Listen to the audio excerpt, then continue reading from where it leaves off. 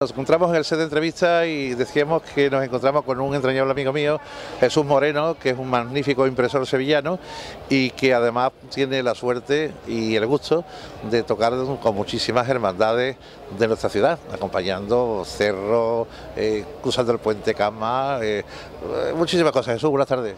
Hola, buenas noches. Jesús, muchas gracias primero por venir. De nada, hombre, es un placer para mí estar con ustedes, con esta gran familia. Y nada, eh, ustedes digáis. Pues mira, eh, presentamos también a don Epifanio Lupión, eh, querido Epifanio, que es un hombre cultísimo, que además es un hombre que hacemos cosas juntos, él- él- además de su forma de escribir, que es inmensa, pues eh, de declamar y de expresarse, pues tiene también el- un hobby que es la pintura, que pinta maravillosamente bien, es un hombre que eh, es un de un realismo, yo he visto allí sus cuadros en su casa, esas plumillas, y tenía ganas de verlo. ¿Cómo estás, Epifanio? Estupendamente, encantado de estar aquí entre vosotros, en tan grandísima compañía, fenomenal además. Esto es algo que para mí la música de cualquier tipo es maravillosa. Y aquí con mi querido amigo Carlos, que es como un hermano, una persona que hemos siempre codo, codo con codo, inagotable, con una vitalidad y una, una invención y unas cualidades exquisitas. Sabemos que está de la poesía propia que tiene ya hablando, y el graceo sevillano. Epifanio, yo- sabemos que está convaleciente, ¿no? que está un poquito, eh, me he lastimado un poquito una cadera, pero ya afortunadamente parece que la cosa va hacia adelante. ¿eh? Bueno, estamos en la feria cervantina. Pero antes de llegar a Cervantes, vamos a escuchar una pincelada que nuestro amigo Jesús le vamos a pedir que ha sido tan amable de que fuera de la época de Rocío y por la amistad que tenemos, pues ha decidido, bueno, ponerle una inflexión para que vamos a dedicárselo a todos los enfermos, a todos los impedidos, a aquellas personas que eh, son invidentes, que van a poderlo escuchar y ver lo- algunos que sí lo van a poder hacer, pero sobre todo llevarle la música de algo que es la flauta, eh, esa flauta que es, es capaz con un dedo meñique y dos dedos articulados y el talento. Es que la forma de soplar no, no se toca todo igual, no es todo igual, la música puede ser la misma, es un mismo pentagrama, pero la ejecución cada pianista la hace de una forma. ¿Eso es así, Jesús? Efectivamente, pues nada, yo voy a tocarle para todos los enfermos, como bien ha dicho, la salve rociera, ¿eh? para que tengáis ustedes y que los enfermos le lleguen a los sanos. eso hay que disfrutarlo. Pues sí. ¿Cuánto quieres, Jesús? Muy bien.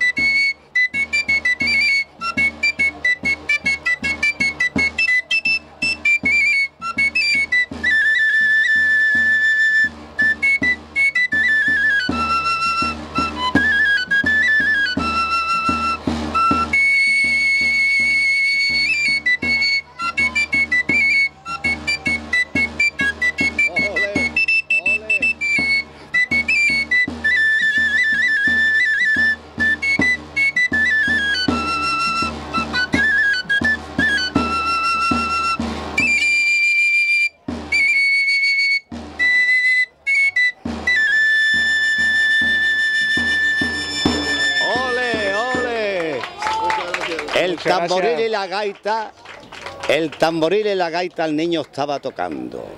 Las pastoras y pastores a compás están bailando.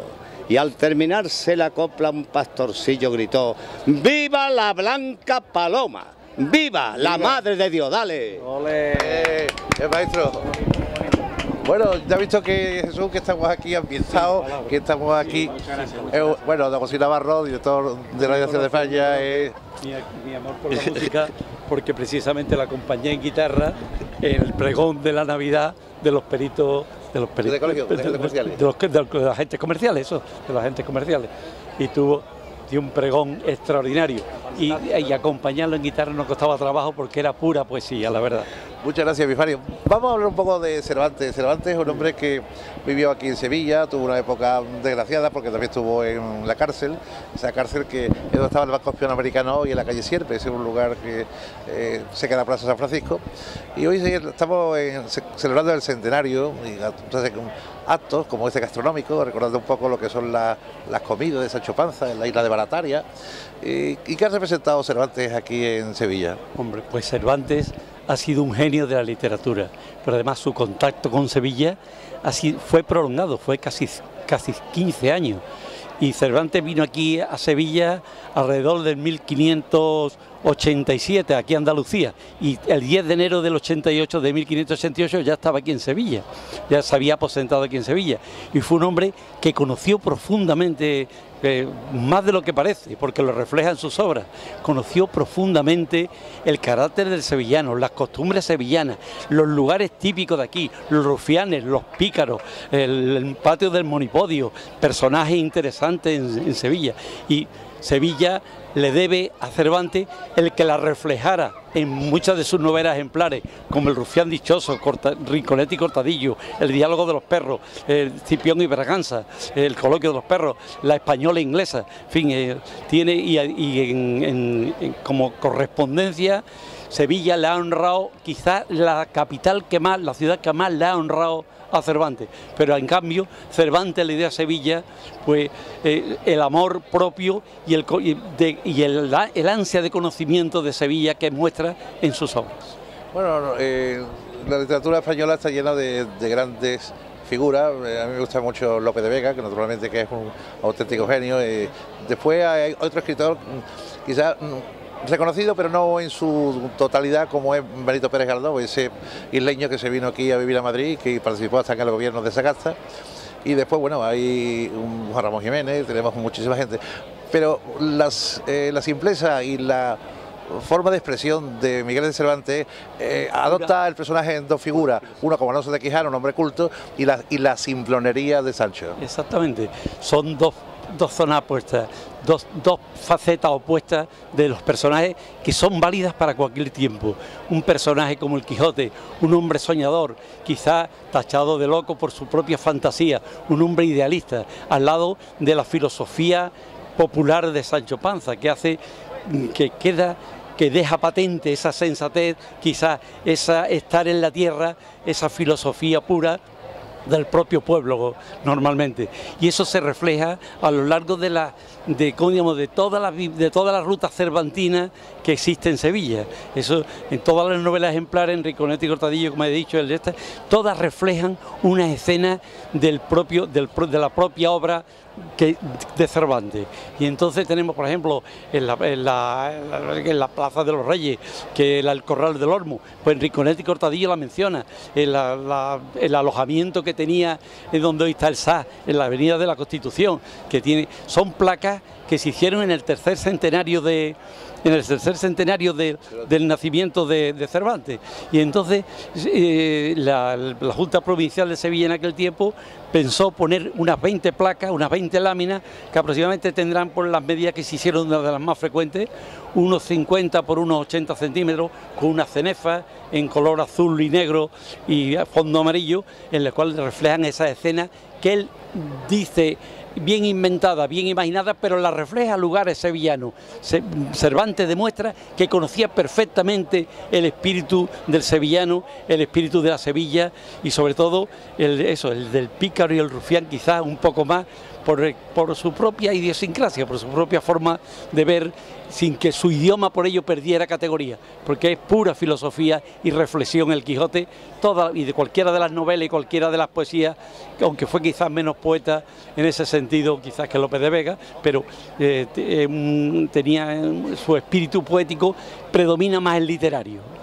No, el Greco es una época realmente importante porque es la época de Intramuros de Sevilla, la época de Puertas de India, eh, la, parte de Ricortemos y Cortadillo, ahí justamente en el Arenal, donde allí entraba la gente y tenía la gente de mal vivir subsistir, ¿no? Exactamente en el Arenal hay también muchas placas, hay placas de él, en, la, Puerta del Perdón. son escenas de, que se mencionan en sus novelas y en la, por ejemplo, la española e inglesa, eh, pues eh, como era una de las más importantes donde él vivió, pues en la casa de Tomás Gutiérrez, que era su amigo y que, eh, que fue donde él se alojaba. Entonces Cervantes pues muestra bien inventado o bien basándose en los episodios reales, muestra toda su profunda sabiduría, con ese decir puro, limpio, espectacular que tiene en su forma de redactar la, historia y la, y vicisitudes que, tanto Quijote como Sancho padecen.